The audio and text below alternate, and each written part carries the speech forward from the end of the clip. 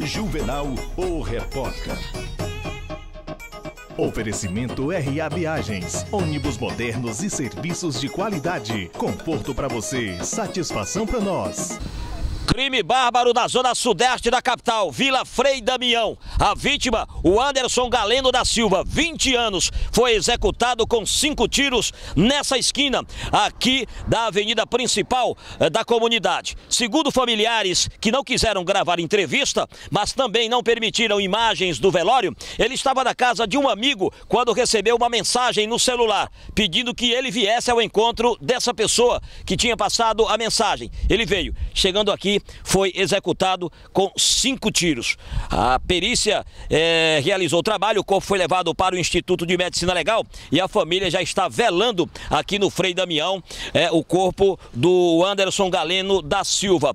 A polícia começa a investigar, inclusive conversando com a família e vizinhos. As outras informações dão conta de que ele não bebia, não fumava e não era envolvido, mas somente a polícia pode afirmar isso. A polícia trabalha no sentido de saber se foi só uma pessoa ou duas que acabaram executando o Anderson exatamente aqui nesse local. O sangue já foi coberto é, com areia, né? Mas aqui todo mundo está assustado. Pouca gente fala, ninguém quer conversar, a própria família não permite é, imagens e também não quer falar do assunto. Mas esse crime foi por volta das 11 horas da noite, como disse, e ele está sendo velado exatamente a poucos metros de onde foi morto, aqui na Vila Frei Damião, região do Alto da Ressurreição, na zona sudeste da capital. O Carlos Felipe é amigo de infância. Como era a vida dele? Ele tinha inimigos? Não tinha passagem, né? Não tinha não. Ele era amigo assim que todo mundo admirava ele, não tinha inimigo de nenhum.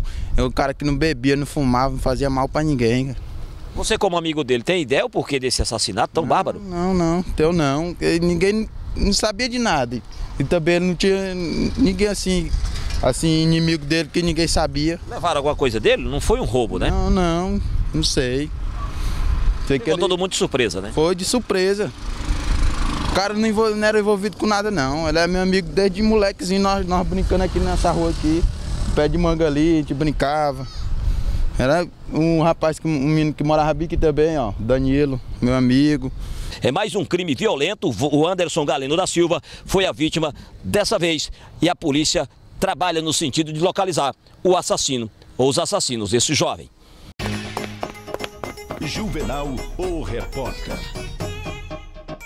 Oferecimento RA Viagens, ônibus modernos e serviços de qualidade. Conforto para você, satisfação para nós.